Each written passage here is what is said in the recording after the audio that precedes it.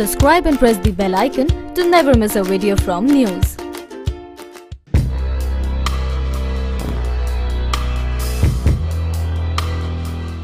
Alarming images from National Aeronautics and Space Administration NASA shows large parts of India dotted with fires. The images are of past 10 days and show scary pictures of fires stretching across Indian states of Uttar Pradesh, Madhya Pradesh, Maharashtra, Chhattisgarh and even some southern states.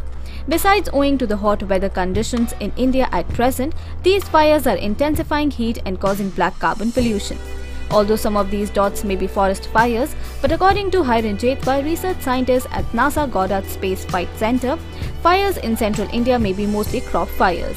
The highest number of fires is being seen in MP, where recently about 10 farmers have already been detained this year in Sehore for burning wheat stubble that spread fire to nearby farms. News Desk